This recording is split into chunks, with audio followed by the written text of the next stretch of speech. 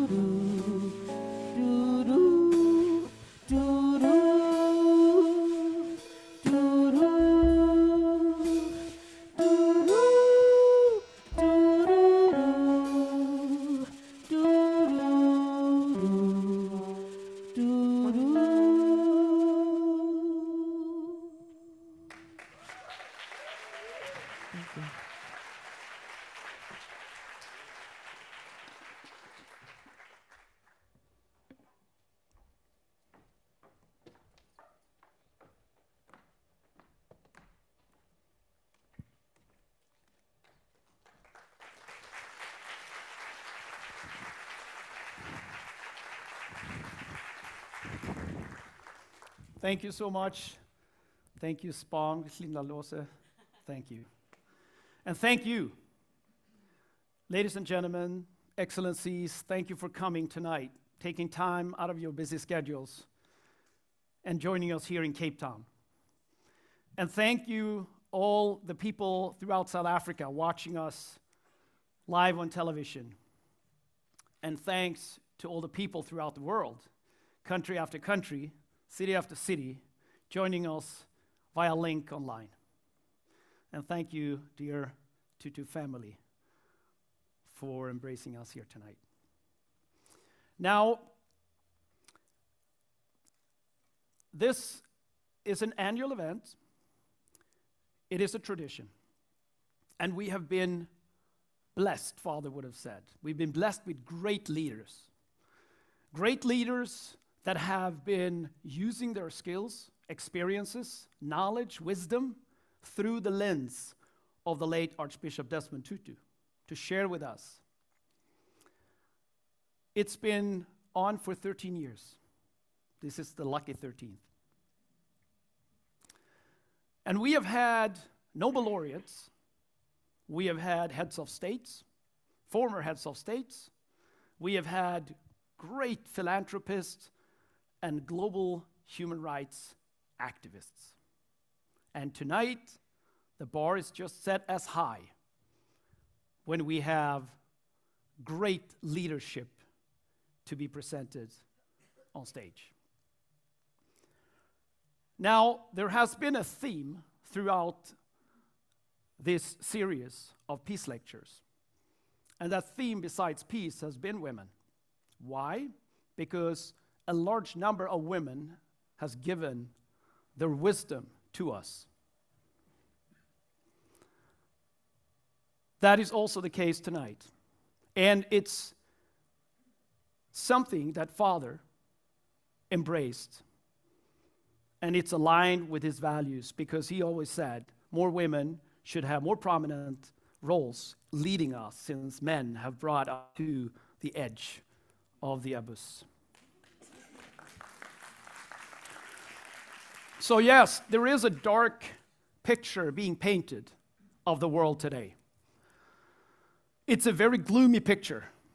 It's a picture where people are suffering.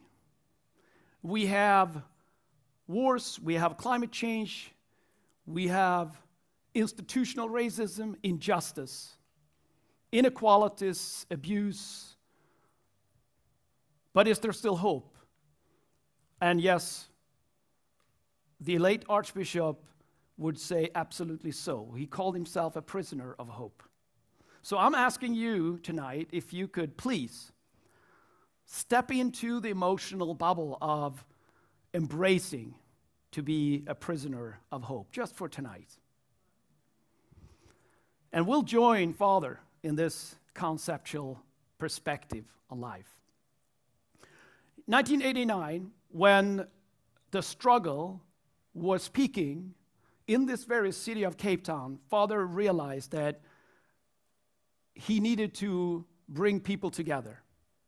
People from all walks of life, not only the freedom fighters, the people fighting for justice and equality, but also the very leadership of the apartheid regime at the time in the city, the institutions, the mayor, and other leaders would join when they were invited by him.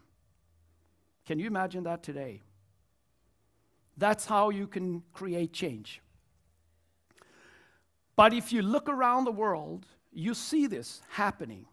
You see the positive notion in the darkness. You see millions and millions of voices who stood up when brutal acts of Hamas took place against civilians.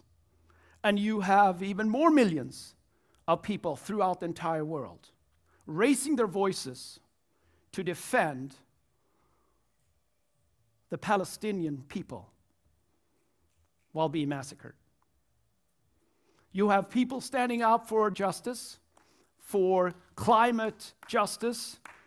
You have people standing up for biodiversity and fighting climate change. You have people standing up when Floyd, George Floyd, was brutally murdered in Minneapolis 2020 in the US. People walked on the streets in the United States and throughout the world because they didn't accept institutional racism.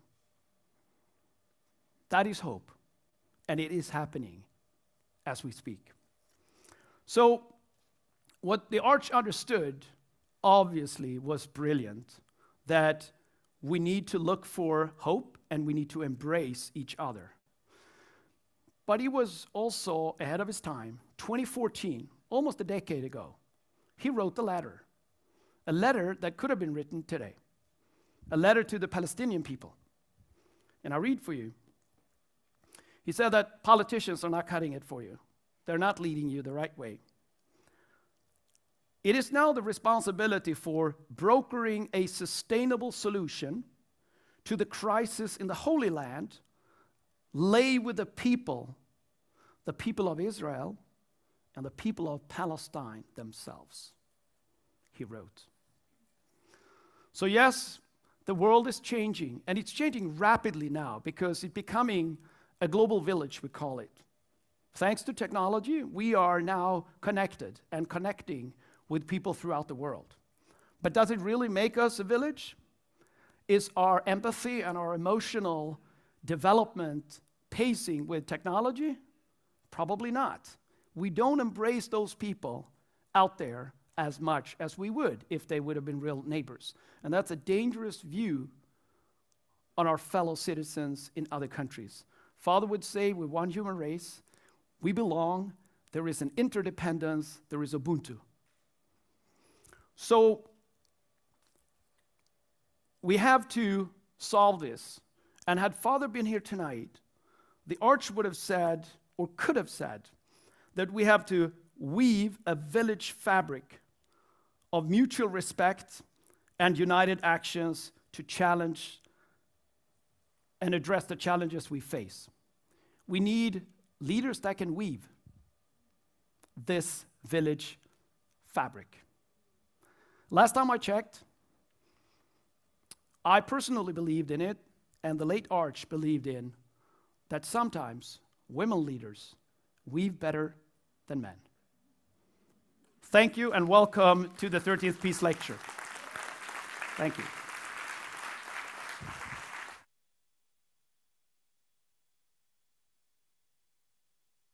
The Desmond and Leah Tutu Legacy Foundation is the legacy organization of one of the world's most iconic leaders and his lifelong partner. Founded in 2011, the foundation strives to preserve the legacy of the Tutus while taking their example into the future.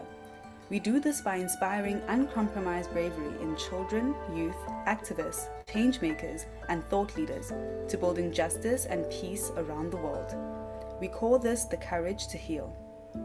Our goal is to nurture a generation of courageous leaders from all ages and walks of life to have an impact in the world by embodying the values and example left to us by Archbishop Tutu. We carry his legacy as a global signpost for exceptional leadership and profound moral courage. To tackle the challenges of our time effectively, we need both technical development solutions and a new wave of action driven by courage, capacity, and compassion at a societal level. This latter work to reimagine the nature of our societies is the focus of the Tutu Legacy Foundation. We do this work through three programs Learning from Legacy.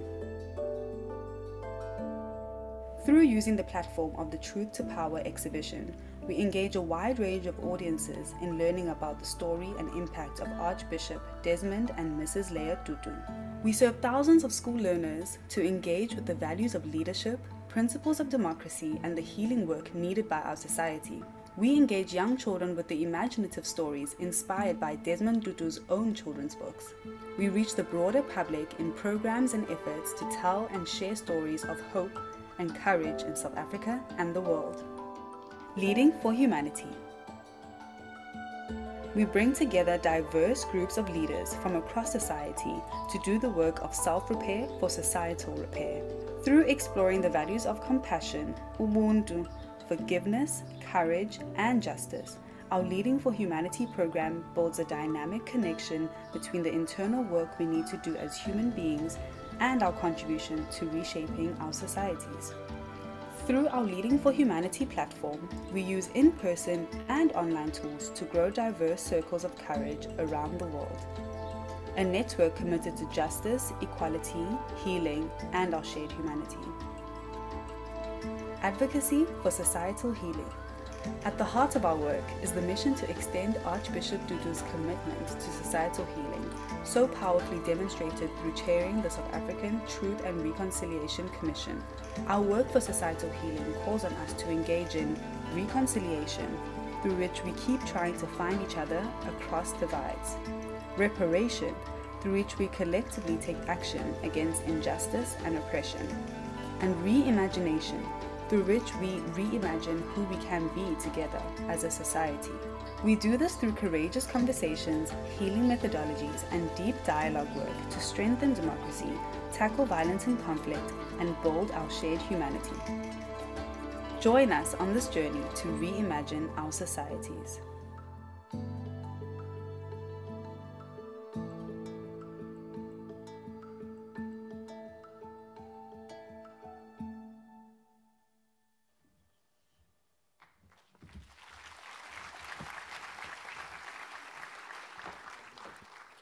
Good evening, everyone. Um, my name is Janet Jobson, and I'll be your program director for this evening. We're meeting tonight against the backdrop, backdrop of a great test of our morality, our cohesiveness, and, as the Arch would have put it, the full conception of our one human family.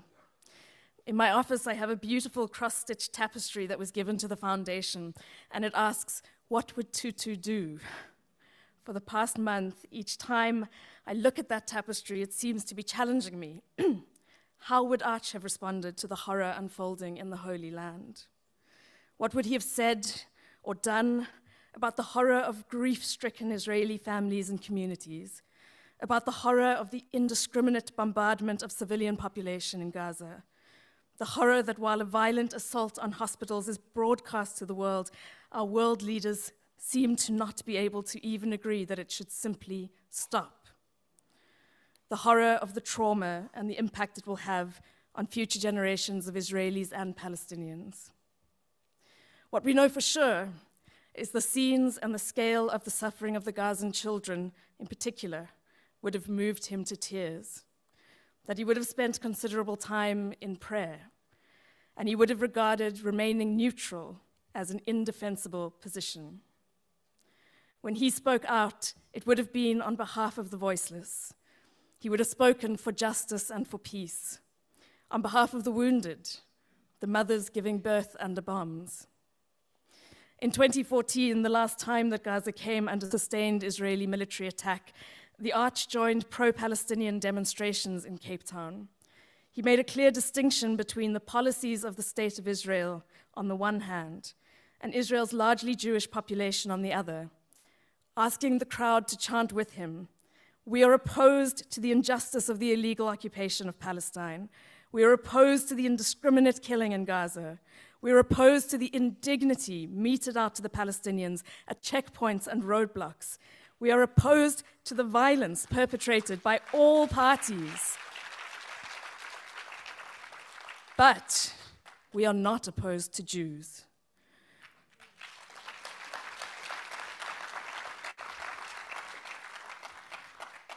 I'd like to ask all of you who are comfortable to, to stand for a moment of silence, to send a strong message to the perpetrators of violence that they don't represent us. The bullies with weapons in Sudan, Ukraine, Myanmar, Tigray, and the Holy Land, they don't represent us.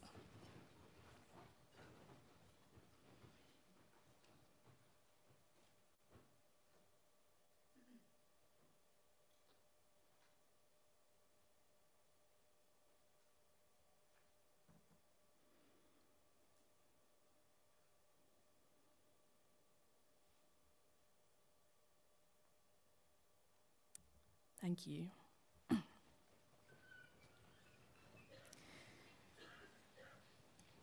the very first Tutu Peace Lecture, at that point not international, uh, was meant to take place in 1985. However, the apartheid government banned the gathering.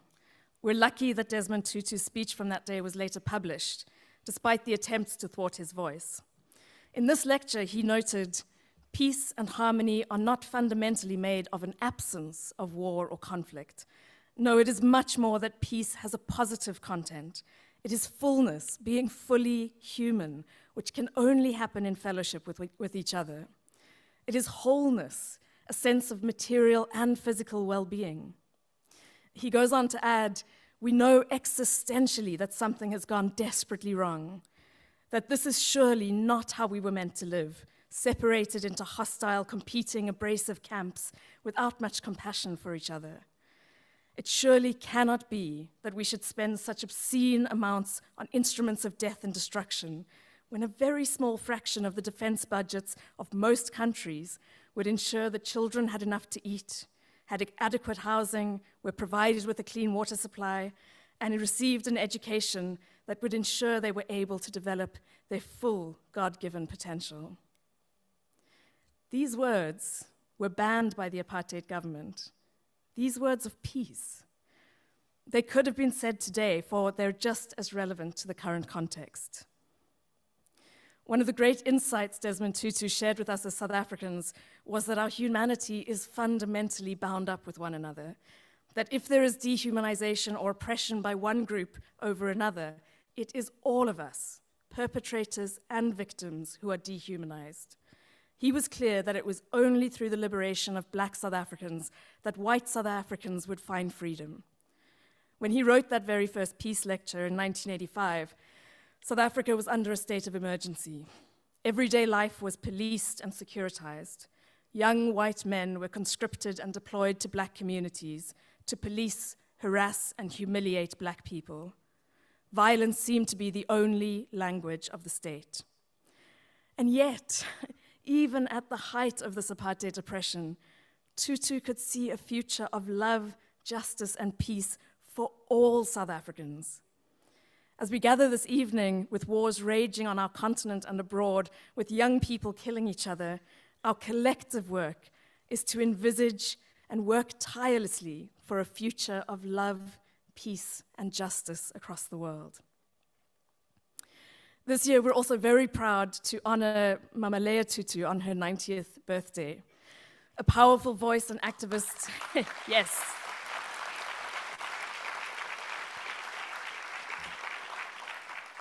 A powerful voice and activist in her own right, Leah Tutu also played a critical role of partnering, of bearing witness to, and of consoling Desmond Tutu.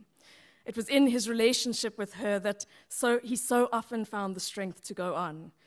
It was in his relationship with her that also kept him grounded, despite the lure of international celebrity. At one point, for example, he was given a gift of a hat which did not fit. He said, Oh, the hat is too small. To which she quickly retorted, No, your head is too big. Women like Mrs. Tutu have played a fundamental role in shaping South Africa's journey. In honor of Mama Mama, Mrs. Tutu's 90th birthday, we set out to collect the stories of 90 women who had contributed in some way, big or small, to South Africa's liberation. The 90 Voices exhibition, which you can view outside or come to the old granary building uh, to visit at another point, is the culmination of this storytelling project. I'm delighted to share a very quick video about the exhibition with you now.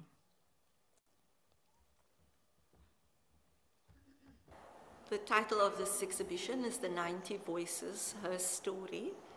And we're playing with the word historia.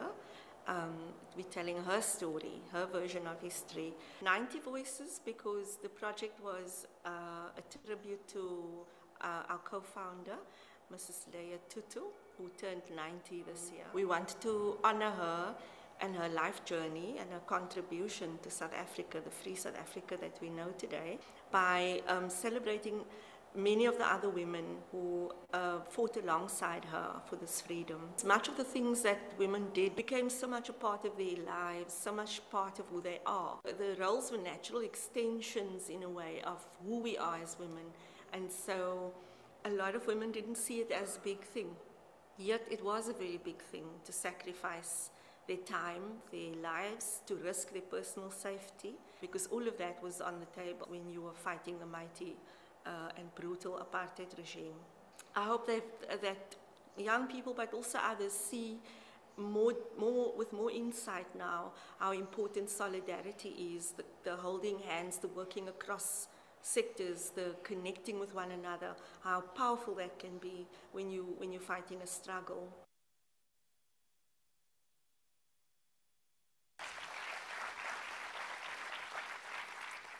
I am particularly grateful to Investec, who has sponsored the exhibition, uh, for immediately seeing the vision and coming on board to support us. I'm honored now to introduce uh, the next section of our program, the incredible poet Toni Giselle Stuart. She's a poet, a performer, a teacher, a multi published writer. Her work is about listening for the stories that help us reclaim our ancestral gifts and wisdom so that we remember who we truly are. Toni, over to you.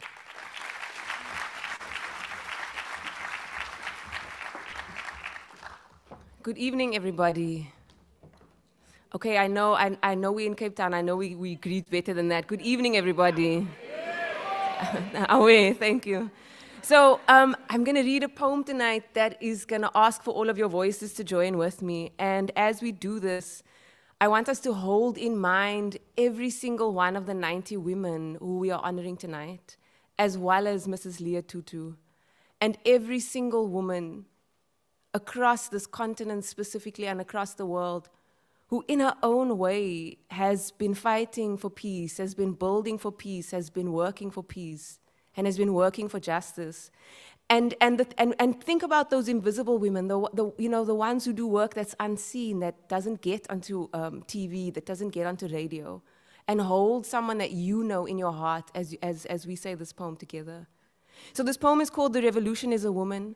It's a collective poem um, written by myself at the Fourth African Feminist Forum in Zimbabwe in 2016 where 150 women between the ages of 18 and 80 from all across the African continent gathered to share about the work that they were doing in their homes, in their countries, in their organizations.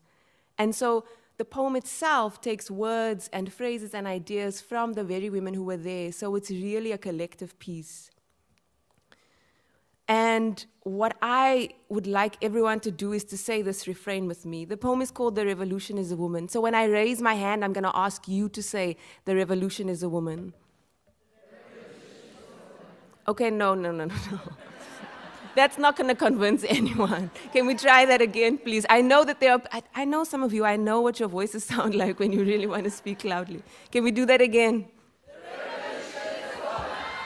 A black queer radical, a Azania house occupying, sjambok wielding, Tahrir Square protesting, raised fist, pumping, bashing, smashing, tearing down patriarchy's invisible walls a hijab wearing, veil discarding, veil reclaiming, church going, silent praying, God denying voice, piercing through the obsidian night to reach always for the light on the horizon's edge reworking the histories that have shaped her, fashioning the steel of a broken arm into a power salute, molding her violated waist into an unapologetic swerving hip, shattering the chains of a shackled ankle into a defiant dancing leg, clearing the rubble under which her daughter's soul is buried, her relentless fingers scratched and bruised to let the light sear the seed turning cement into soil, this work that breaks her heart, this work that feeds her soul. Loving a woman in the shadows so she can love her children with some safety in the light. Praying for strength to defend her love against the pulpit. Arguing for her right to defend her love against the bench who speaks not only for herself, hear her sing, This land is woman's land. This continent is woman's continent. We will never tire. We are proudly queer. Teeth biting back at the hand, muffling her voice until she breaks free into a ceaseless whispered prayer for love, an unending ululation for liberation. Born into the light of feminist fires, standing in the flames of rage and love, burning tirelessly so her sisters will not die sad fighting, loving, fighting, loving, fighting, loving for the soul of Nigeria, Mali, Burkina Faso, Uganda, Ghana, Zimbabwe, Tanzania, South Africa, Benin, Mauritania, Zambia, Mozambique, Eswatini, Angola, Niger, DRC, Liberia, Sudan, Egypt, Senegal, Eritrea, Ethiopia, Cameroon, Chad, Central African Republic, Kenya, Burundi, Rwanda, Guinea, Togo, Somalia, Sudan, Algeria, Cote d'Ivoire, Malawi, Botswana, Namibia, Morocco, Madagascar, Burundi, Tunisia, South Sudan, Sierra Leone, Libya, Congo, Gabon, Lesotho, Mauritius. The revolution is a woman fighting, loving, organizing, loving, resisting, loving, building, loving for the soul, for the soul, for the soul of the world.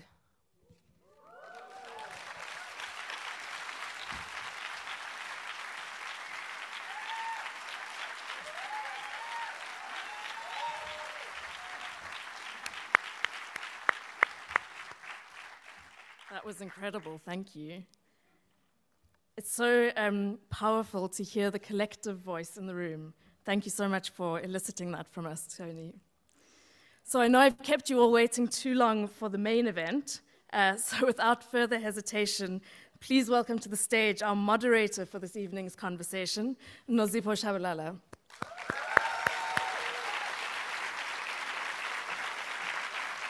Nozipho is the CEO of the Conversation Strategists. She's known as the go to moderator for presidential panels globally and a champion for gender equality.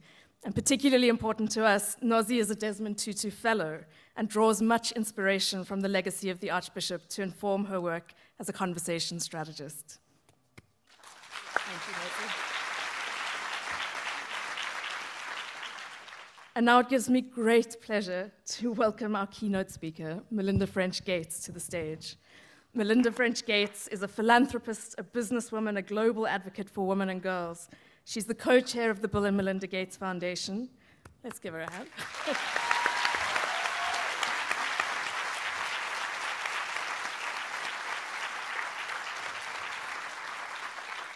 and she works with grantees and partners to further the foundation's goal of improving equity in the United States and around the world. Through her work at the foundation for the last two decades, Melinda has seen firsthand that empowering women and girls can transform the health and prosperity of families, communities, and societies. Over to the two of you.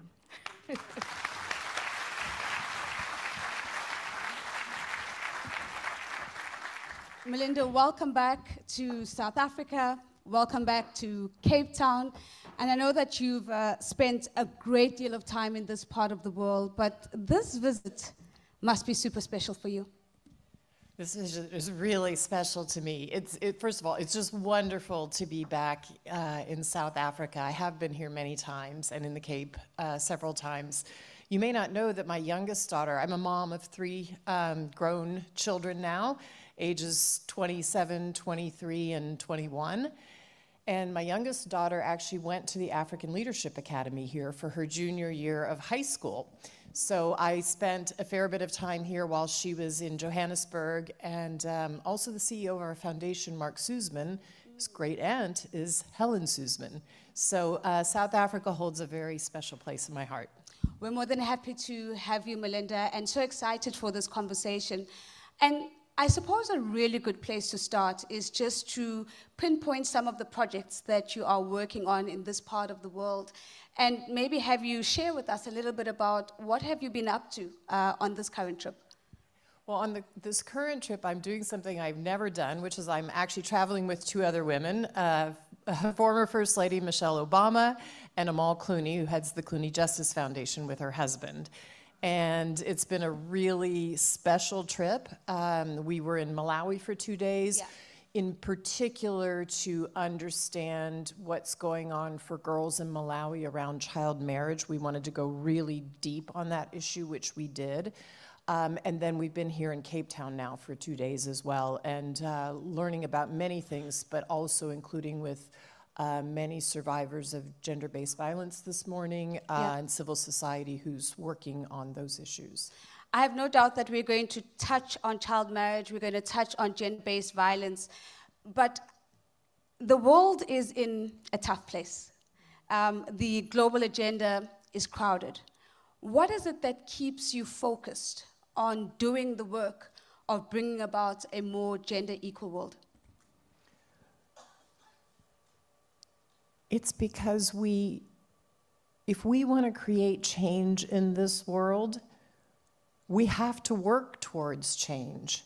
And I believe the only thing, the only thing that is going to create lasting peace and change on this continent and the world is to empower women everywhere and to make sure they can step into their full power. We know that when there's more equality in a country, the country is more peaceful. We know when a woman has her full power in her home, her family is more prosperous, they're more healthy. We know then that women can contribute to their community and they can contribute to society. And so I believe that we need to make sure women can have the rightful place in society. And I work very hard to team up with others, men and women, who believe that as well and are willing to put that faith in that belief. We yeah. have to have faith in something and to put that faith into action. I want to, absolutely, absolutely. Melinda, I think I'd love to double click on this relationship between gender equality and peace because there could not be a more important time to talk about peace in the world than right now. We know that when there's conflict, that it is women and children that are likely to be displaced. It is women and children who are most likely to slip into poverty and hunger because of the economic disruption. We know that it's women and children who are likely to be the victims of sexual violence because we know that sex can be used as a weapon of conflict.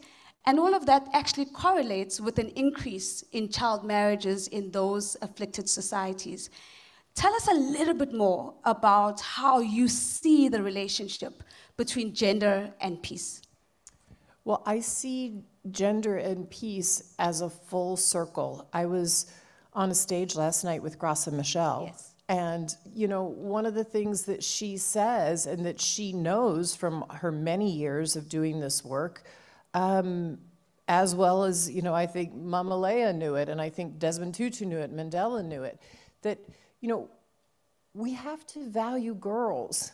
We have to value girls the same as boys, and we have to value women the same as men. And for whatever reason, society, you know, we marry our children off. If we marry a girl, a little girl, to a man, an older man, we are immediately locking her into a cycle of poverty. She is too young to have a baby, and yet she's expected to. Yeah.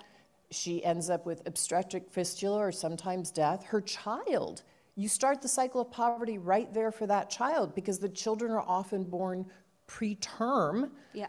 and they're low birth weight and often they're stunted.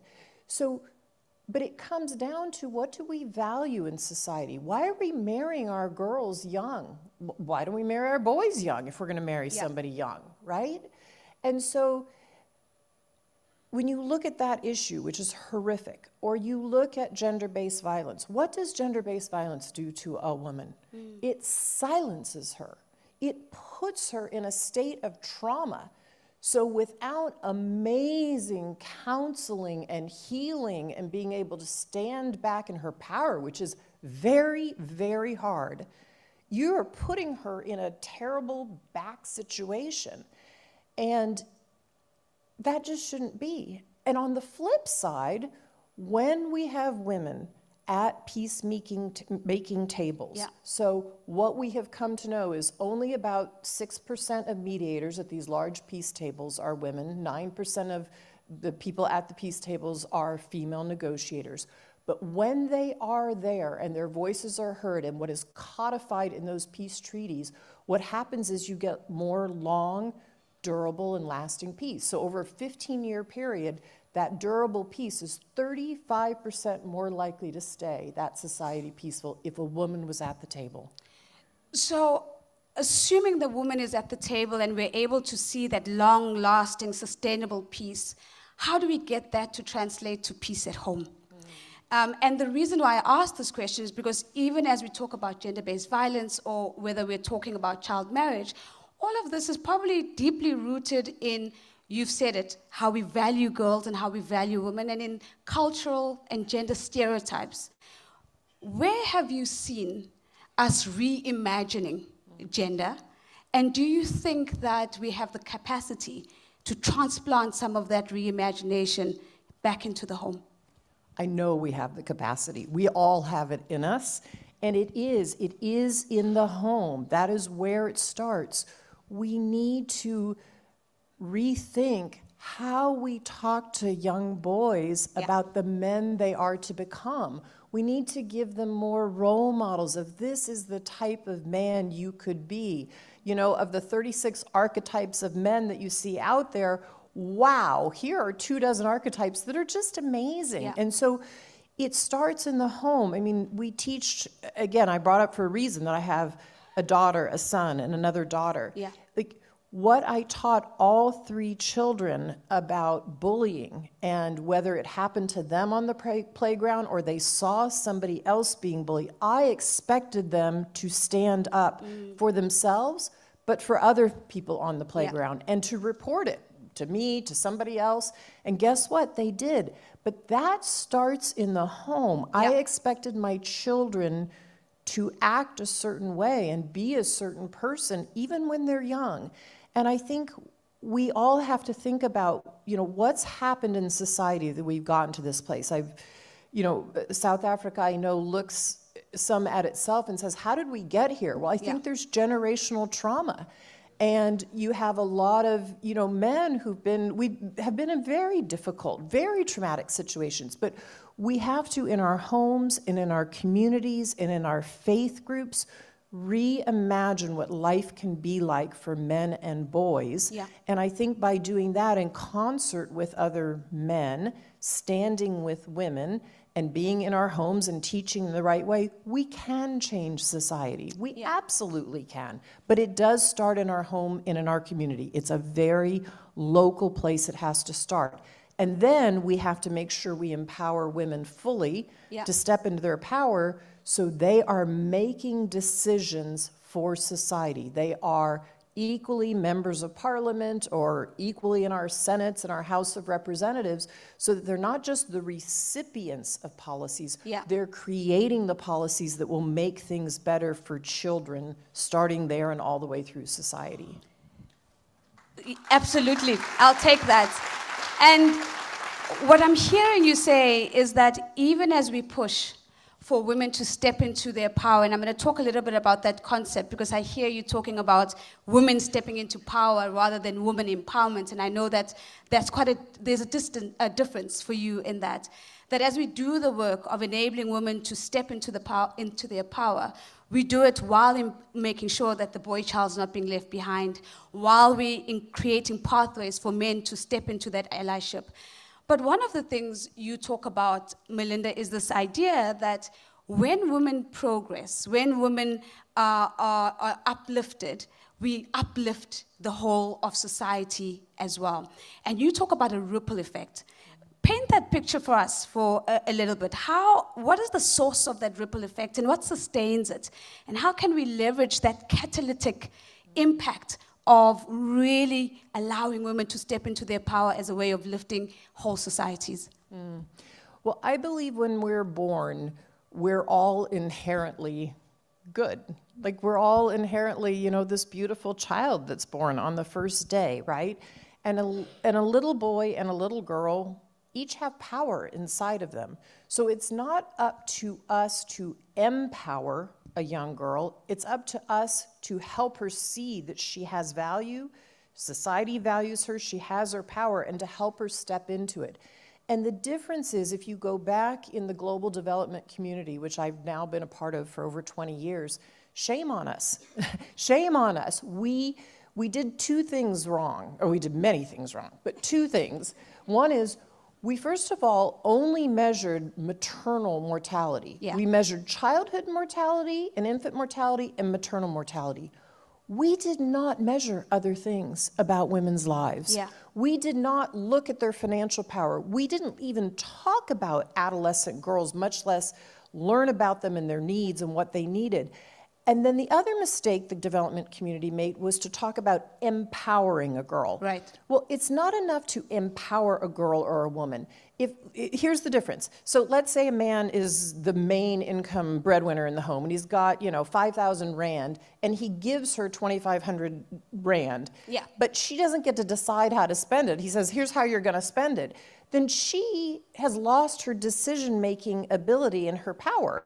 Whereas if she gets $2,500 and she gets to decide how it's used, or she becomes the breadwinner and she's the one earning the 5,000, it changes everything. Mm. And I've met women and grandmothers in communities who say, everybody looks at me differently now that I have an income. Everybody. The grandmother says, men come to me for a loan. The woman says, my son looks at me differently. I can mm. buy him a bike. My daughter looks at me differently because I can educate her. My husband looks at me differently. And so we need to really help women step into their full places of power and then make sure they get these leadership roles across society Right. so that then we can look out and see three dozen archetypes of powerful women and say, wow, a girl looks up and goes, I don't want to be those kind of six women, but I'd like to be one of those 30, right? When we get there, we will really have helped women step into their equal power in society. Sure. I absolutely love um, that distinction. Um, and it's not about just women having a seat at the table because we know that representation only goes so far. But it is about them having the decision making power when they're sitting at those seats. Um, and sometimes that seat is in your own home and being able to decide how the budget is going to be spent. Reflecting on your book for a moment, um, one of the things that caught my attention was how you spoke about the ordinary conversations with, with women that you would have on the ground, in their communities, in their homes, and how those conversations have impacted you um, and influenced the work that you do. Melinda, what are women saying works for them? Because I think we, when we tend to have the policy conversation, we can oftentimes miss the opportunity to ask, what do women say works? Mm. So when we talk about a more gendered, equal experience, what are women wanting? They're wanting more connected networks. They, will say to you so often, we talk. You, you bring something new, somebody brings something new into our community and we see that it works, we're going to tell everybody else about it. Don't worry about it. We, we talk. We talk at the well. We talk when we grind millet. We talk at the birth of the baby. We know how to spread these things, but make sure we have the resources, that we're resourced to spread it. Even the community groups that I talked to here in Cape Town today who are working on gender based violence, and this is true wherever I go. This gender community, whether you're working on child marriage or gender based violence or financial literacy for women or education for girls, we have starved the gender community of resources. We have resourced things for men for a long time as a world, but we have starved women's group for resources. And so they end up in these you know situations where they're they're almost competing with one another for resources that just shouldn't be they are the economic engines of society and can be um, but we've got to resource them in the right way so that they can change society. So there are a number of funders in the room, I'm sure. So let me put you all on the spot. I won't ask you to put your hands up, but what I'd like for you to do is to think about what your current allocation of resources looks like right now. And are you contributing for the competition of resources uh, for those organizations working to bring about a gender equal world? And are you thinking about how that's impacting the work that's uh, coming through and what we are supporting? I think it's a great call to action and it's a great call out for us to do that. But let me bring you a little bit closer to South Africa, Melinda. As you would know, on the 9th of August, we celebrate National Women's Day. And in fact, we take the entire month of August to really reflect on the gains we've made as women, to reflect on some of the stubborn challenges that have remained in place. And this year, an activist made headlines for saying, and I quote, there's nothing to celebrate for women in South Africa, end quote. What do you say to those people who believe that gender equality just cannot be achieved in our lifetime, especially when they look at the everyday experiences, not only that they are faced with, but what other women are faced with on a daily basis. Mm. Well, I was actually glad to see that quote because I think that is the reality. Um, in some countries, we know it is. I mean, we know if you look across the world, we're supposedly 300 years away from gender equality. I don't know about you, but that is way too long for me. I know I won't be alive in 300 years. I hope I'm still alive in 30 years, right? But look, I dream about in my grand. I have a granddaughter now. She's seven yes. months old. You have a son, right? Yes. That's eight months old. I dream that in their lifetime, gender equality can be achieved. Mm. And I see there are countries. If you look out, about one in three countries right now are making progress on gender equality, but most of the others are either stalled or, in some cases, even going backwards. I would tell you the United States went backwards in the last year and a half with the overturn of Roe v. Wade in our country. Yeah. Um, that just should not be. And yet, 68% of Americans agree and say, no matter which side of the political spectrum they're on, women should have that choice. That choice belongs in their hands. It's a private decision, it's not a government decision.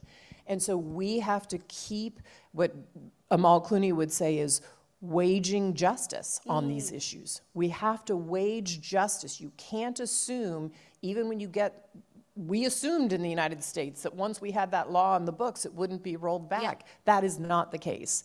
And so, but again, it takes collective action. And one thing that makes me incredibly hopeful, in fact, I met with three philanthropists who are here in the room just before this, and they were saying, you know, what should we, you know, in which areas, where, where do you see we're making mistakes? And it's not about what mistakes they're making, it's what we can all do, which Yeah. is I see when we collaborate as philanthropists, as civil society, as government, that's when you make large scale change. And I'm excited, like being on this trip with Amal Clooney and Michelle Obama, we are talking about how do we collaborate so that what each of us is doing with our own foundations is not one plus one plus one equals three, but it equals six or it equals 10.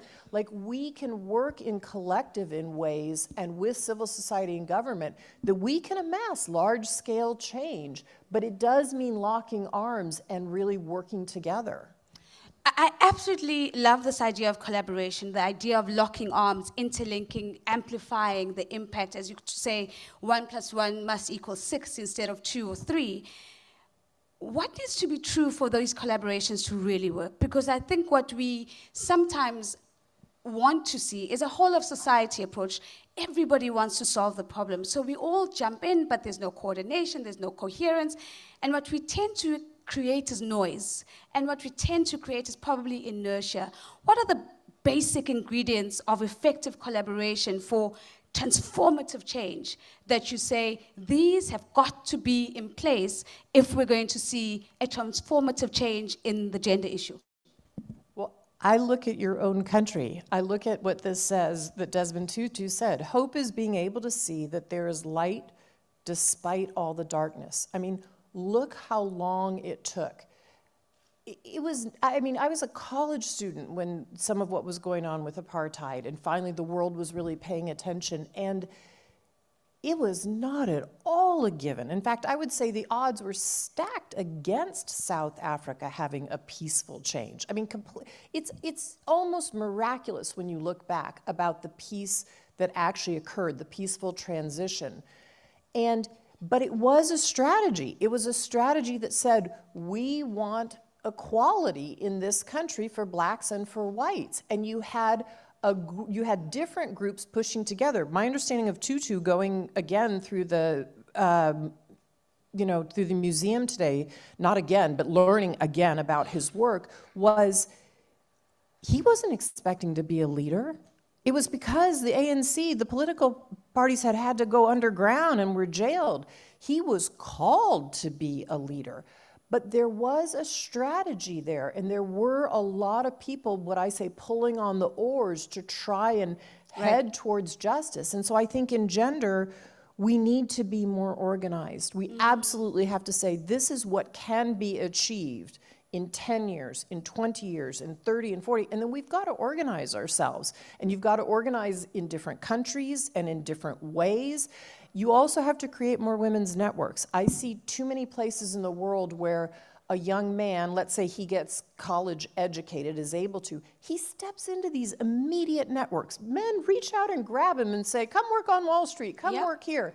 Women do not have those networks. They abso- they have social networks, they talk to each other, but those networks that pull them up and say, You're ready, come here, let me give you this opportunity, let me open these doors for you.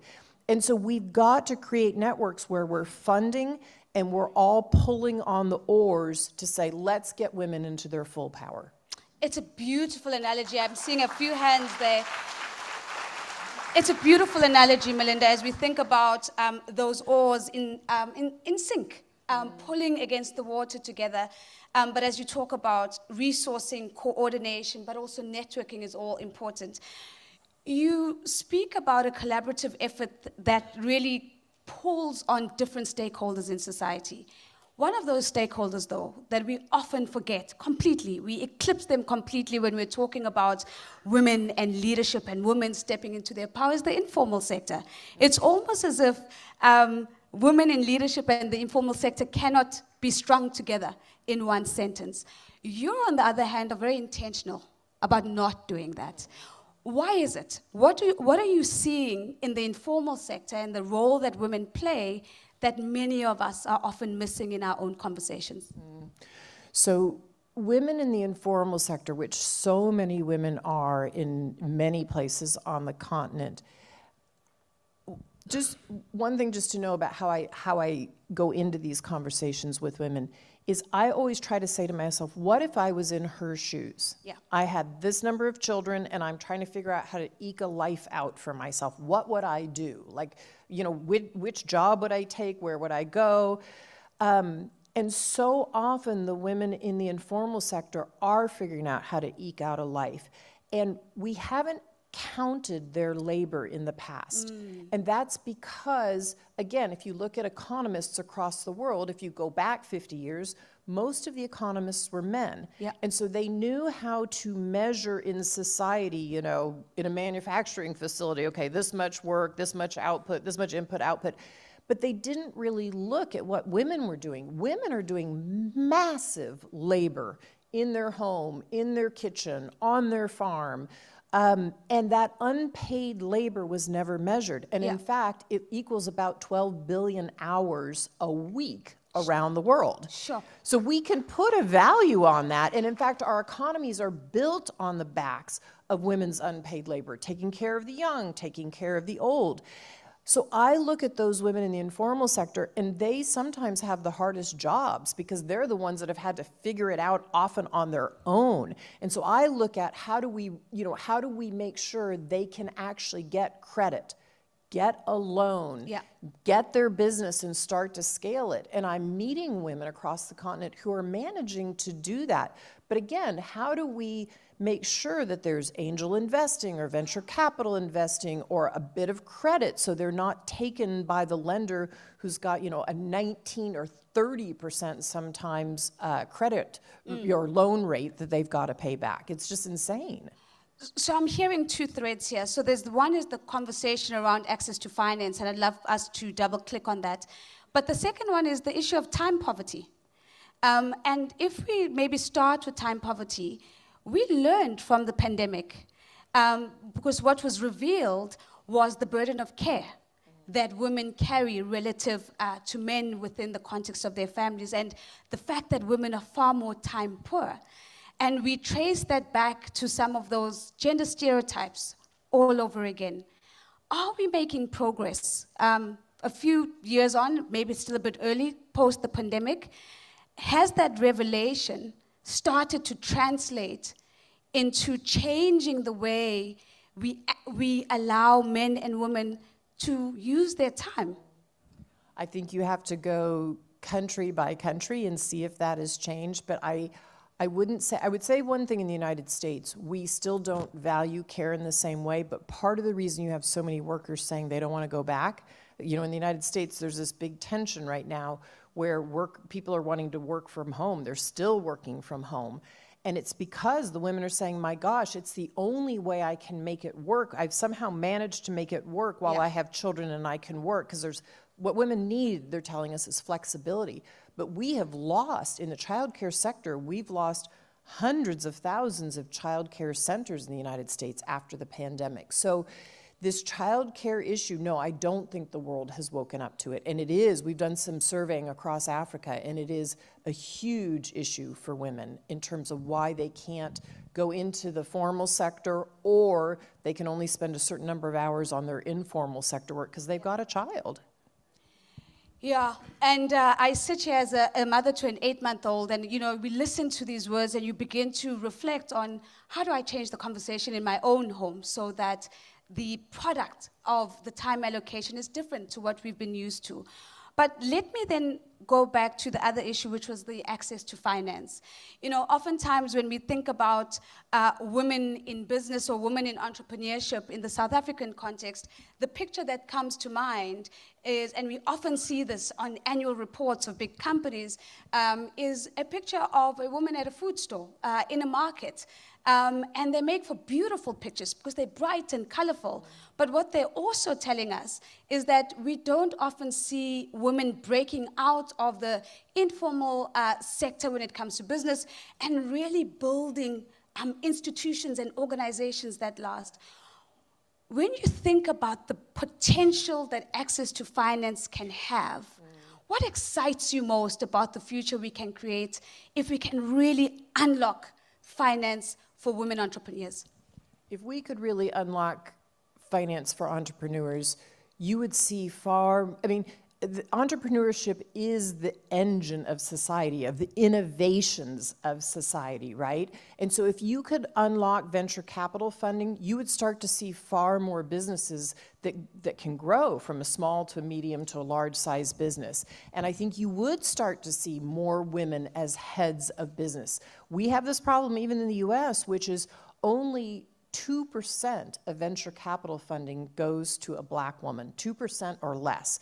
4% if you're a white woman, okay? So, I mean, and yet women have incredible ideas for business, but we have this idea that because the venture capital community has been held by men, they tend to only fund what they know and can see, and they're funding the same things, which is men, you know, male-led businesses. So one of the things I'm trying to do, not from the foundation, but my company Pivotal Ventures, which is really focused on inequity in the U.S., is to lead in the venture capital space to show people you're leaving money on the table. There are all these amazing women led businesses.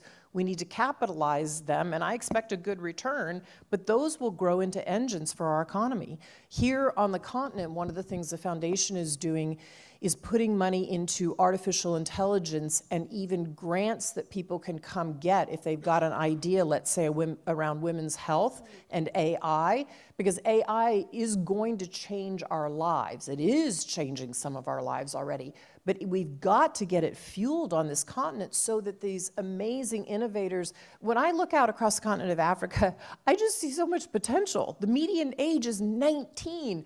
You know, I've met young people in these tech hubs in Nigeria, in Kenya, in, in Nairobi, in Senegal. They they are, have great ideas and applications for the continent, but they've got to be funded, right? And to me, there's just huge potential there for creating lasting change, and yet, you know, we got to channel funds there. Mm. We've got to channel funds uh, towards women and in business. As we begin to make our way towards the end of our conversation, I really want to shine the spotlight on what needs to be done. What is the job to be done for all of us in the room? If we think about leaders right now, and if we could highlight some concrete steps uh, that you think if these steps are taken, we're going to accelerate and minimize that 300 year um, you know, gap that we're talking about, accelerate our path towards gender equality. What are these steps? What are the things that leaders should be thinking about and that we should be holding them account to account for? Well, I think you know everybody in this room or anybody who's watching, you you, you know young girls and young boys who could be great leaders in your communities. If you're in a faith based organization, or you're in a school, or in your community, it is up to us to identify and tap them on the shoulder and give them opportunities. Give them the first internship. Show them the way to get into a network. Make sure that we teach them how to be proper moral leaders of society as well as potentially business leaders or political leaders. And then network them together. The Tutu Fellows can be networked together with the Obama Fellows and the Clooney Fellows and the Cambridge Scholars that we have who come from the continent. I mean, if we put our collective efforts together and say we are trying to teach all of these young people about how to be leaders in their society, then I think we would start to see lasting change. And we have to then listen to them, and their ideas have to come forward, and we have to fund them. I mean, I look at, I do look at climate change and say, you know, it's been, you know, it's been 25 years of funding that's kind of gotten the climate change movement to where it is. And I look at universities, for instance, where you're starting to see these climate clubs raise up, you know, 400, 500 students for climate change and climate justice. It's fantastic when I look back, it's because we taught little kids, at least in some countries, how to recycle, and they were expected to recycle and be the recycling monitor in the classroom. These kids have grown up and are saying now, okay, I'm in college, we want to actually do something, and they've got ideas, and some of them are going out and getting funded. We need that in gender. We need that for young women and people who believe in democracy and peace. We need to network them, grow them up, and then get them to a level and then help fund their ideas and listen to their ideas. Melinda, there's one constituency that I realize we haven't spoken about, and those are the young people who maybe are listening to this lecture of uh, a mobile phone somewhere. They're most likely unemployed, and as we talk about the median age being 19 uh, on the continent, they're probably thinking, well, that conversation doesn't relate to me because I'm not part of the economically active population. How do we begin to think about bringing in uh, those who are at the periphery, especially from an unemployment perspective, and really being intentional about bringing the threads of gender and employment creation and economic growth together because we cannot continue to solve for those who are just at the center. We've got to think about um, a much bigger 1 billion population on the continent, which are the young people that you referred to earlier. So every other person on this continent has a phone. That's a pretty amazing thing. Yeah. And while some of them are still, you know, the plastic phones, that is a tool we did not have over a decade ago. And a person with their own bank account, man or woman, who can save a dollar a day, save $2 a day, even if they're at the margin, when people learn to save money and save it up, they then have something when the health shock comes, the hunger shock comes, the school fees come due. The power in that phone of information for learning, the power of being able to save and have some economic means. And there are good apps now that say, look, if people save, they're then more credit worthy, right? Even if they've never been part of the formal financial sector. Women will tell you out in remote rural villages, I've been out in them, and they'll say, look, I wasn't, I couldn't go on the bus. I went, I'm not welcomed at the bank. I didn't have the money for the transport. I didn't have the time. But my gosh, I've got a phone and I can save a little bit of money, you know, from the, the vegetable stall they do have, or their husband goes into work and they have it in their hands. Money does money is power and yeah. it literally starts to make them more powerful and then as i said the way they're seen is different so i would say if you have a phone there are things you can learn and you can do and even you know one thing we have not talked about but that i am very passionate about is contraceptives yeah. and why is that there is literally no country not one country in the world that hasn't gone from low to middle income without making the contraceptive prevalence journey. Once women have control and can say, these are the number of children I want, whether they have children and when they have children, when they have that ability, women will do tell us, and I can lo- name lots of names of women I've met even on the continent, and they'll say, if I can only have two or three children, I can feed those two or three yeah. and I can put them into school and I can see my dream of a better life for my children and my family. Well, the phone, what we're learning from Nigerian girls is they are spreading the world, word in very unique ways about contraceptives, about their bodies, about why condoms are important so yeah. they don't get STIs from their partner. And they're spreading where can you go? When there are stockouts we can go here. When, when we, we can get them covertly over there.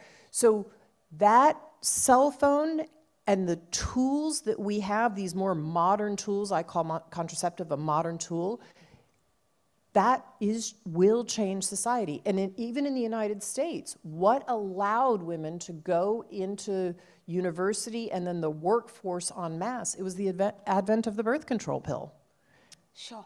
And that's absolutely powerful because it comes back to your earlier message of decision making power and the ability to make decisions about your body, about your family, within the context of your community. One of my core beliefs is that conversations are the birthplace of action, and that we have to be very intentional about the conversations we start, because I think those are the ones that help us bring about a different future and also very intentional about the conversations we stop, because those are the ones that ensure that we stop reproducing outcomes that we don't want. As a parting message to everyone in the auditorium, online, across the world, what is the conversation you would have us start from tonight? And what is the conversation you would have us stop to never have again from tonight? Let me start with what I would stop. I would stop saying it's impossible. Of course, of course it's possible. We are the ones that create change. We just are. I mean, if we want society to be different, it is up to us. to every one of us and to every little girl and boy who goes to school. You know, we know that when families can get on the cycle of good health, education, and economic opportunity, society changes. And then you get a more peaceful society. And people can stay if they choose and live in their community and be prosperous. And so when women have their rightful place in that, society is more peaceful. And so what I want to say to everybody is, you know, we have to have hope. Don't ever give up hope. Desmond Tutu says it. We, we have to have hope but I also want to tell you that love is a verb hmm. and it's an action. And we can do something about it in our homes for that young girl, for that young boy, for that woman who is trying to make her way to CEO, or that woman who is facing violence on the campaign trail, but she would be an amazing parliamentarian. Love in action is saying to that person, You can do this. I know you can do this, and I've got your back. I'm going to help you get there.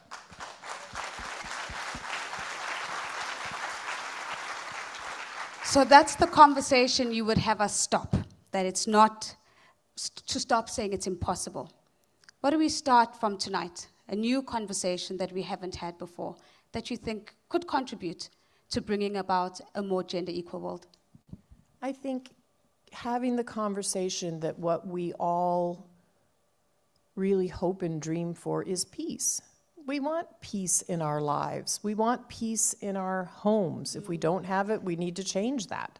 And we want peace in our communities. And I think the conversation is that we have to remind one another, you know, we have to connect with our humanity, mm. right?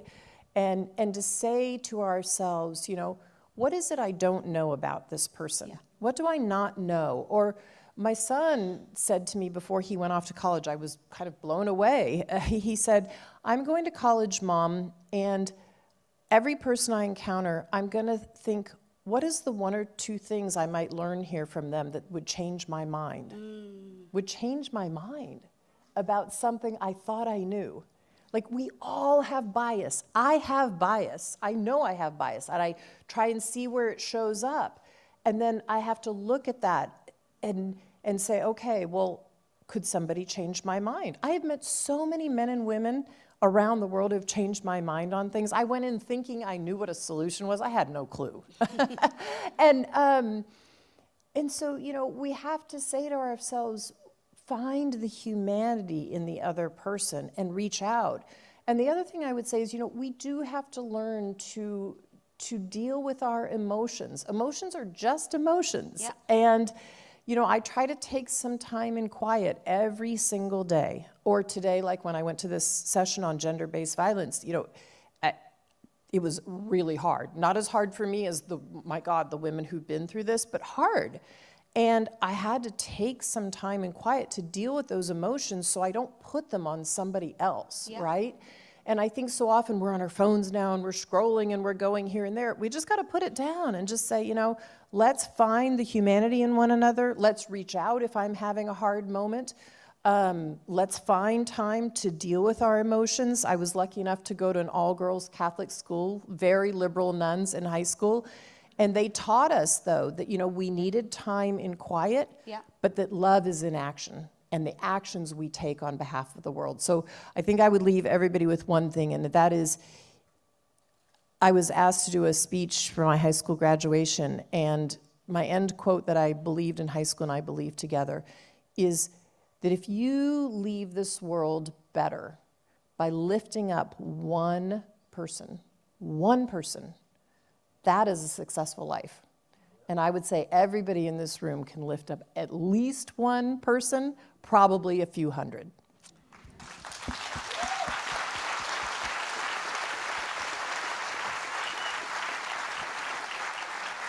Ladies and gentlemen, in true South African style, I'm going to ask us to give Melinda French Gates a resounding round of applause and even a ululation. I'll take it.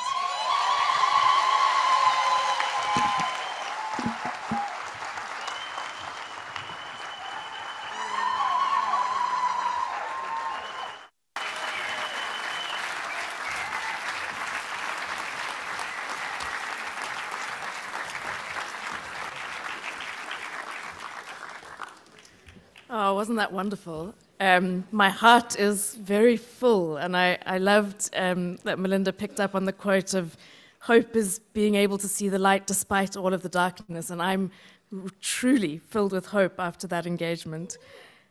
Yes, thank you, whoever gave the, the little whoop. Um, so thank you to Nozipho and Melinda. It was, it was truly a, a powerful conversation.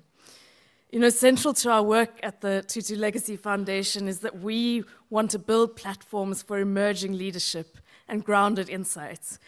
And so, in line with this, we've asked this evening an incredible uh, young academic and poet, uh, Dr. Athambile Masola, to give a short reflection on that conversation. Athambile is a writer, a researcher, and an award winning poet based in the Department of Historical Studies at the University of Cape Town. Her debut collection of poetry was written in isiXhosa and it's called Ilifa. She's the co-author of children, a children's history book series, Imbokodo, Women Who Shape Us, and her latest book is a collection of Noni, Noni Jabavu's columns from 1977 called A Stranger at Home. Atta, please can you come up and share with us your thoughts?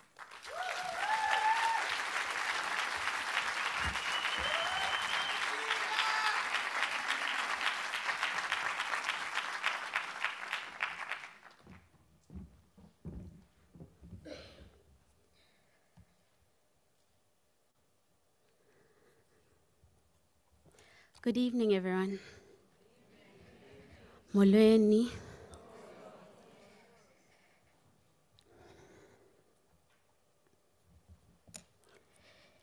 It was the best of times, it was the worst of times. It was the age of wisdom, it was the age of foolishness. It was the epoch of belief, it was the epoch of incredulity. It was the season of light, it was the season of darkness. It was the spring of hope. It was the winter of despair. Dickens, I know. I'm sorry for Dickens. Let's pretend it wasn't Dickens. But I start with that because in moments like this, it is good to hold both the light and the dark. And it's difficult to live with the light and the dark. And I start this way because the line from the song Spha sang, Tandinduli's song, gave me courage. And the first line of that song was, Why can't we tell the truth about how it feels? It is hard. It has been a hard, hard season. And I think it's important to just say it. That's where we began with the chair. That's where Janet began. But it must filter through everything that we have to say. We have to hold the light and the dark. And so that's where I want to begin. It is the best of times having conversations like this, gathering tonight, but it is also the worst of times. It is a time of mourning. It's hard to gather. The chair spoke about this being a tradition. And the beauty about tradition and rituals is that, on the one hand, we're able to witness and we're able to mark the moment, but we're able to do it honestly. And we must do it honestly. Rituals can only happen when there is honesty. Growing up, when we had rituals, the refrain would be, Mabdedu bumnyama kuvela kukhanya, kamaku. And mabdedu bumnyama buvela kukhanya in this moment. There's been a lot of talk about generational time tonight. Long time, deep time, thinking about families, thinking about generations. And I want to borrow the idea from Elise Boulding, the idea of a 200 year present. The idea is that you think about the oldest person in your life, and in our case, we're celebrating Mama Leah's 90th. Think of a centenarian, think of the oldest person in your life. Mamlia is turning 90. And think of the youngest person in your life. We heard of Nozi and Melinda's seven and eight month old children and grandchildren. And that our lives span those lifetimes. And so the work that we do in our lives spans a 200 year present. And so, how do we live understanding that time is long and that the work that we do in rituals like this, in gatherings like this, has implications. And I guess that's what gives me hope generational time. Is that once upon a time, this would have never been possible. That once upon a time, it wasn't even imaginable that we would be having conversations like this. And so that it's possible then to imagine that once upon a time, Palestine might be free.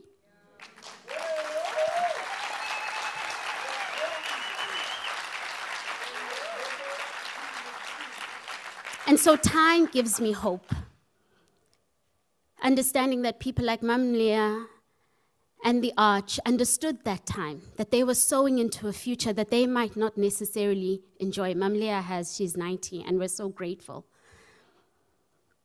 But I guess the invitation for me and the conviction I am sitting with tonight is my relationship with the future and how to best craft a future where we can tell the truth about how it feels, where we can tell the truth about how hard hope is. But we can also tell a story about how people lived and worked for that hope. I want to end with a small story to give a sense of that generational time and the stories that give me hope. In 1935, a young teacher walked into Inanda Seminary. Her name was Pumla Ngozwana. She was a teacher at Adams. And she made a speech at Inanda Seminary. And the speech made it into a newspaper called the Bantu World. And the title of the article that was then published in the Bantu World was The Emancipation of Women.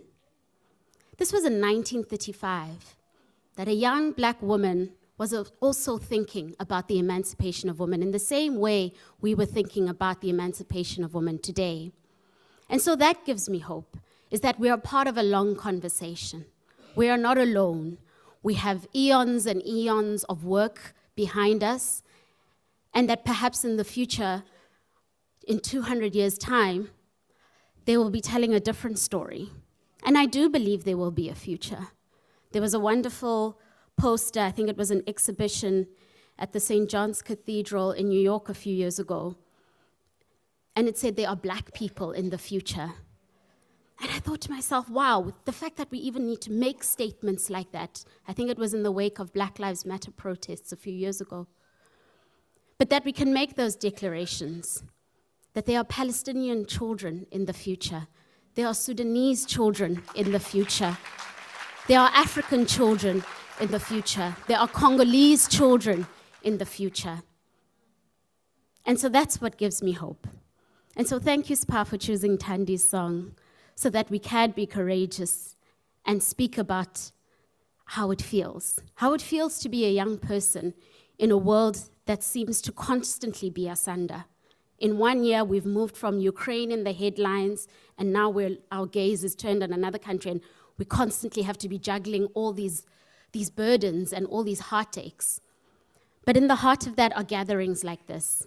And we thank the foundation for choosing to gather in spite of that difficulty because we must be reminded of our humanity, and rituals remind us of that humanity. And this is a public ritual that we need every single year, if only to gather and witness each other's humanity and hug each other and see each other and cry and be incredulous with each other, because it has been a time of incredulity and a time of despair.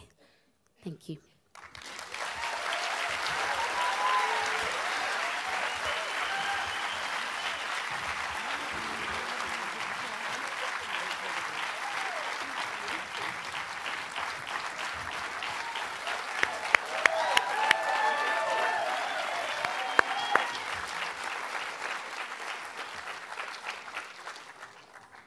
It's hard to know what to say after something as powerful as that.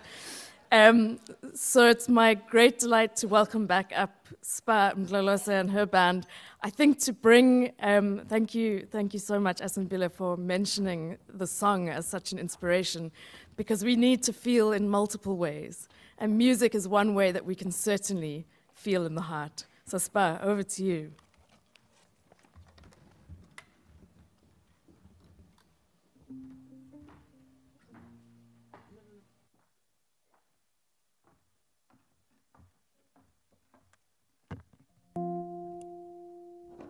Hello again. So, um, how do I tell the story? About five years ago, I released an album. And just for context, I'm Zulu speaking. Uh, so I had no business writing this next song, which is fully in Sepedi. and let me tell you, it has put me in very awkward situations when people want to converse further in Sepedi, a language I do not know. um, but yeah, this one is called Lefatsi. And please give it up for this incredible band on guitar, Nathan Carolus. On trumpet, Monive Herman. And on drums, Marlon Vitboy. I will be putting you on the spot. I've heard your voices. You all get the gold card. We're going to Sun City. So there will be a time where I give when I turn the spotlight on you, yeah? Lola, yeah, yeah, yeah. La ole,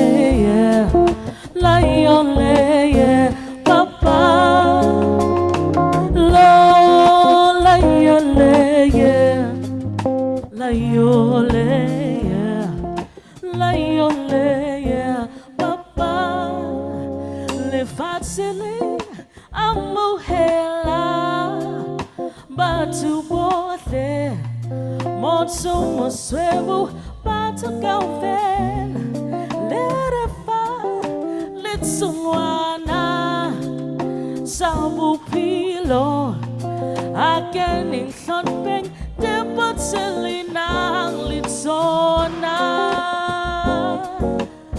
Oh yeah, yeah, yeah, yeah, yeah, yeah, yeah, yeah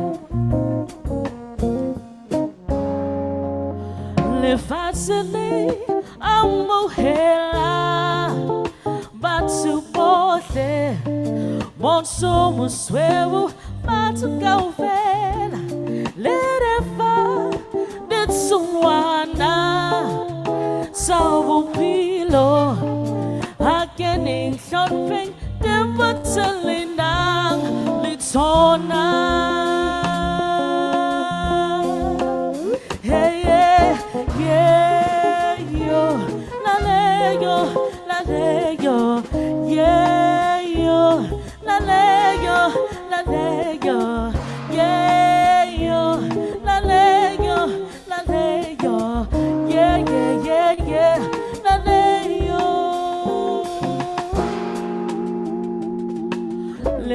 Sydney, I'm Mohela, Mahatsu Wone, Monso Mosevo, Matukawe, Lerefa, Letsuana, yeah, Savu Pilo, Akening Sonpeng, Depotelinang, Nitsonang.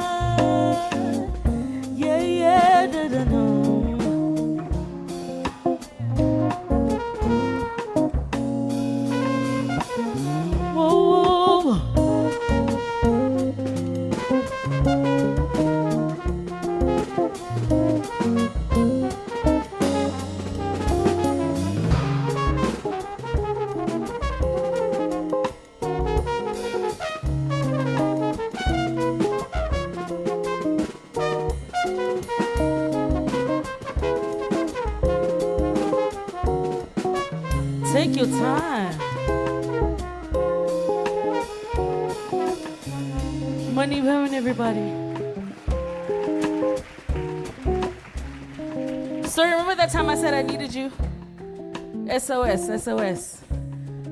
We're gonna teach you something super simple. It goes just like this.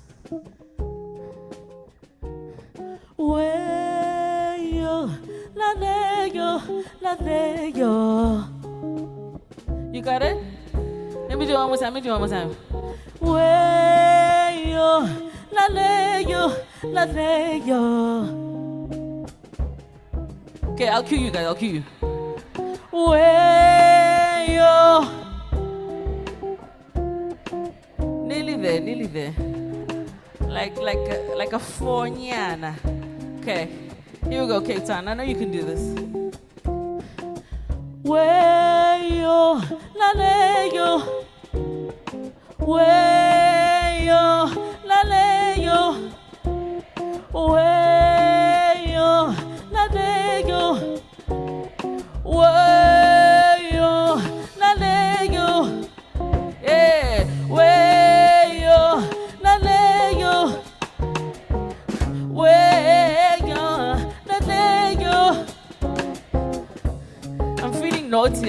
Feeling naughty. I I I wanna test sides.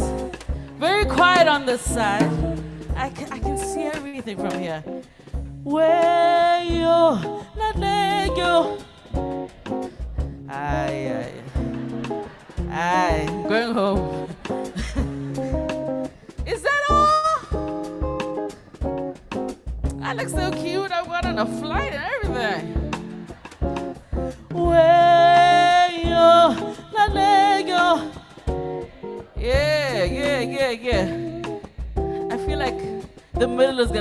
something. I'm gonna get something. Okay. Wayo, la leyo. What's that? What's that? What's that?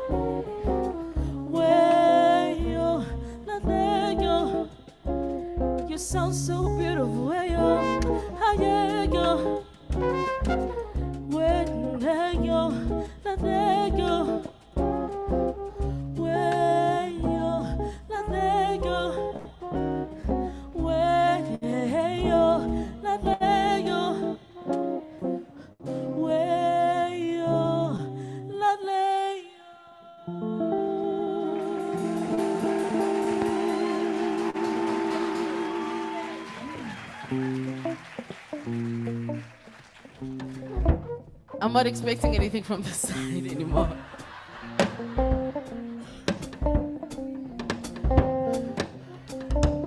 This is gonna be our last number, so I'm asking, I'm pleading for you to all get on your feet. Sing it if you know it. This is a classic from the great Miriam Makeba. And it's called Wele. Waza, waza, waza, waza, waza, waza, waza. What's Lily Zelam, Lily Oh, now the lift comes alive. Okay. I see you. Walele, walele, walele, walele, wele, wele, wele, mama. What's up, what's up? Walele, walele, walele.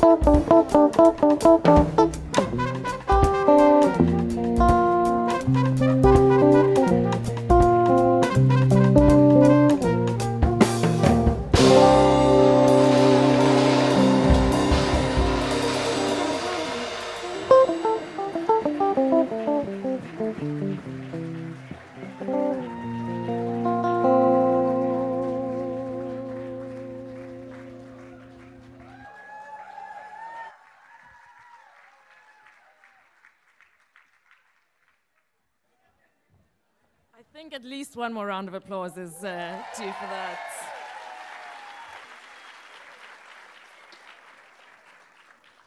It feels like the evening just gets deeper and deeper, more and more into one's heart. As we move towards the end of this evening's gathering, I'd now like to invite up a massive supporter of ours, uh, the UN resident coordinator at interim, Christine Muhigana, who's going to share some final thoughts with us this evening. Christine, welcome.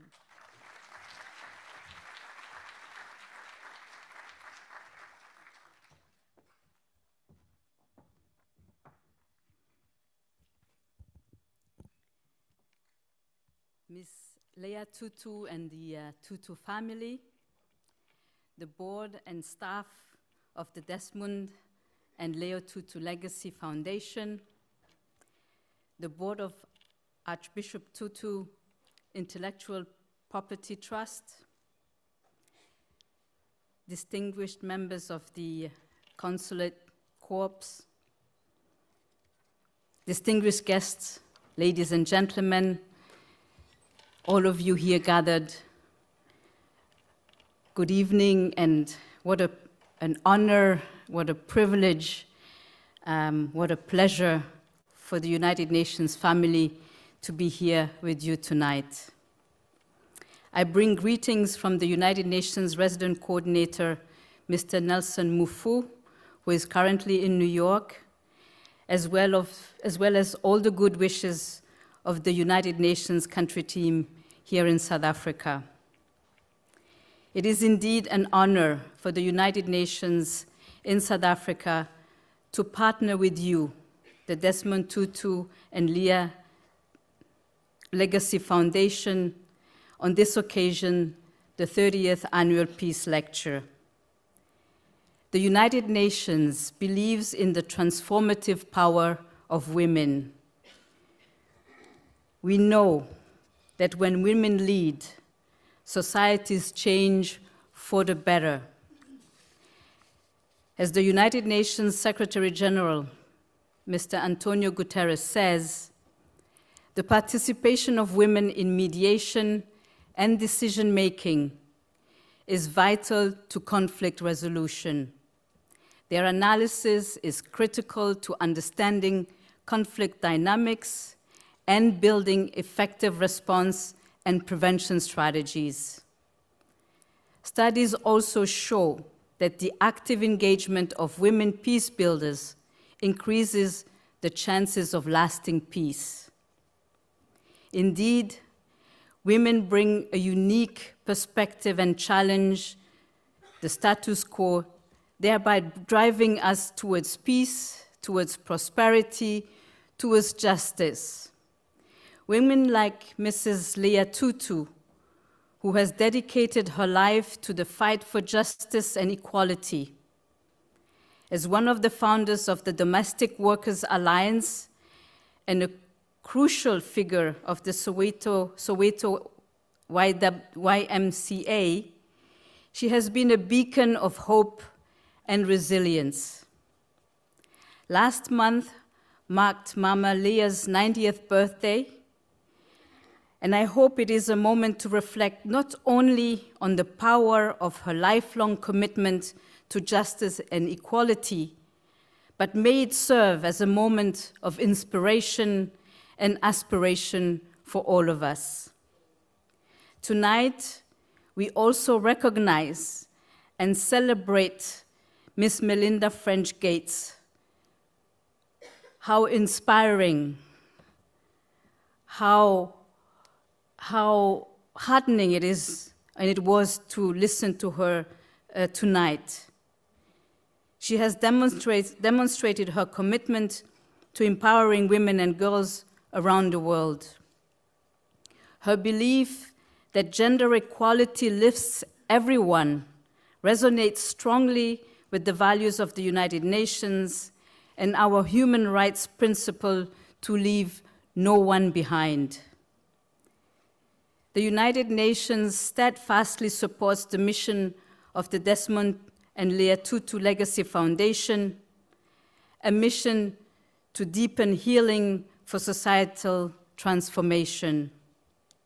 The foundation's work, especially through these annual peace lectures, is a testament to the enduring values of Archbishop Desmond Tutu. He is no longer with us, but his spirit of peace, justice, and reconciliation lives on and, and inspires, inspires all. Archbishop Tutu's commitment to ordaining women into, into the priesthood was groundbreaking. His belief in women as powerful agents for societal change continues to inspire us. Therefore, the title Unlocking Women's Power for Peace and Prosperity should not just be a lecture title, but we must endeavor to make it a reality.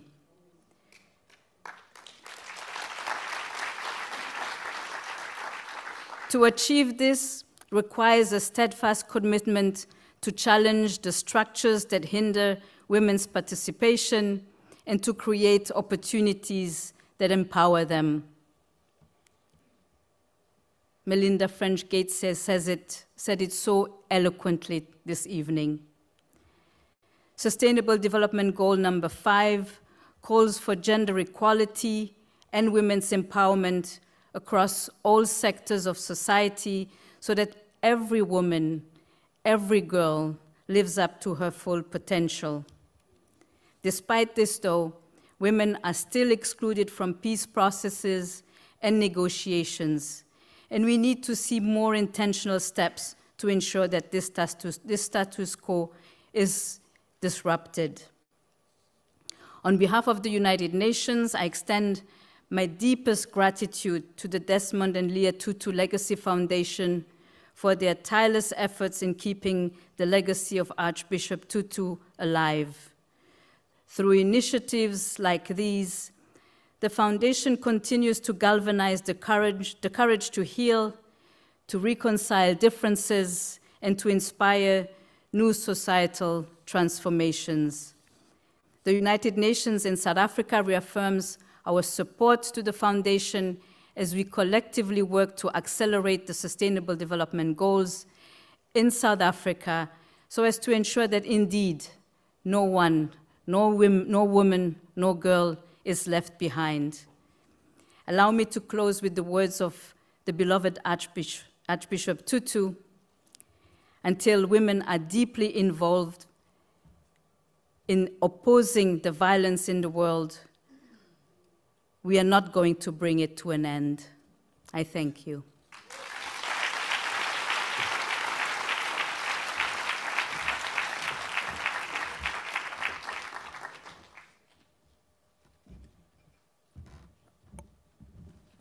Thank you, Christine, for that and for the incredible partnership. This evening really would not have been possible without our extraordinary sponsors. Um, I have to say again, Investec, who immediately saw the vision for the 90 Voices, and I really do hope as many of you as possible manage to take a look at the exhibition and hopefully to find some of those incredible women sitting here in this audience tonight. Uh, the United Nations has been a critical partner, the Bill and Melinda Gates Foundation, Terre Passable, and the Western. The work we do as the foundation is to preserve and expand the legacy of the Tutus, and it's only possible through the support of generous donors, many of whom are individuals that have been touched by the or experienced the impact of Desmond and Leah Tutu around the world. One of the great lessons that has emerged for me tonight is the power of everyday people making change every, every day, wherever they are, in their homes, in their communities, in their societies, to make peace a reality. It's times like this in the world that we miss the voice of the arch the most. His voice was one of moral clarity, and it was so often a guide for us in a broken world. So, as we all take up his legacy, may we all play our part to become healing points in an aching world, to become points of light points of hope in the darkness. We couldn't have an event tonight without hearing directly from the Arch, and so we're going to close with a final video in which he shares his words himself. Can we cue that up?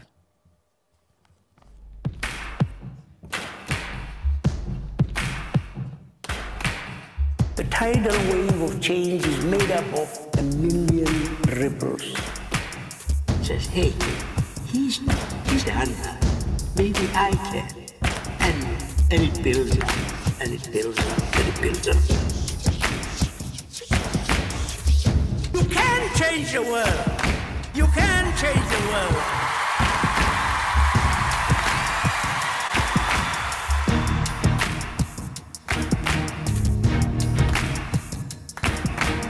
You must not pause now.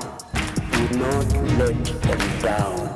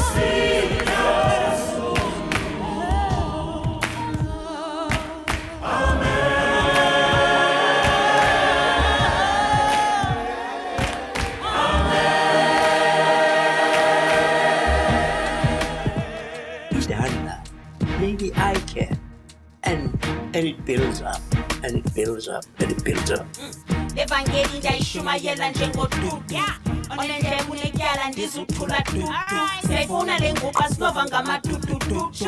Sikuyo le ndlela asijiki du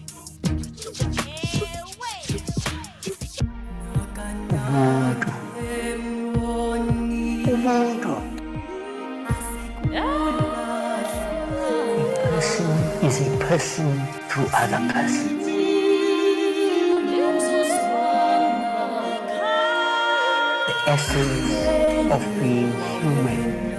igumbi naba bantu kuphubuntu abanye sebenikezele bathakhondi ngumntu qondo sisixhobo esigcwele uthuthu xa sikuthuntu. Asincedisani noluntu kodwa inyana niyifuntu. Person is a person through other persons. bafa ingculaza abantwana nale ndlala incamathele inkokheli zimo sidlele bayahlutha sibukele. Age is not the as long as I have breath in my body, I will speak up against injustice. Watch out. Watch out. To narrow the gap between between the haves and the have-nots. I cannot worship a homophobic God.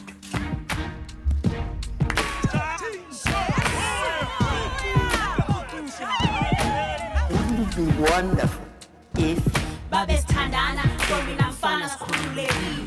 wouldn't it be wonderful if, babesikwazi uvana nobulwimi lwethu lohlukile wouldn't it be wonderful if babesiphilisana nendalo kuba lo mhlaba siphiwe siyaya phambili ixesha lethu selifikile climate change is for real?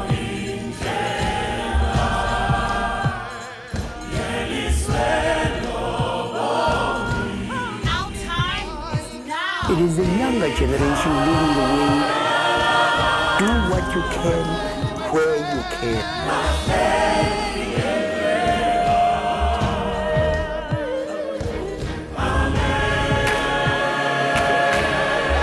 Do not let them down. You must not pause now. Women are excluded just simply and solely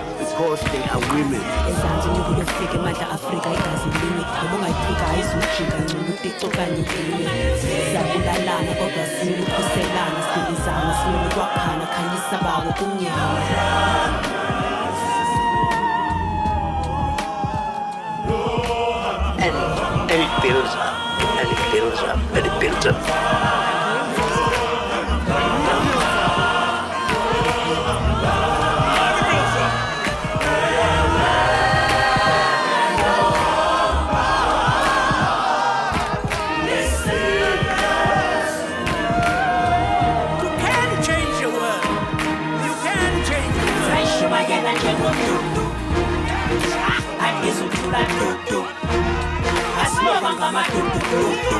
Ah, Asijiki du. A tidal wave of change is made up of a million ripples.